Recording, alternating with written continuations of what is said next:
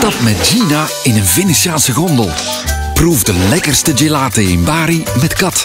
Nadien zorgt Sabine voor zon in Katakolon. In Izmir en Istanbul laat Benjamin je het echte Turkije zien.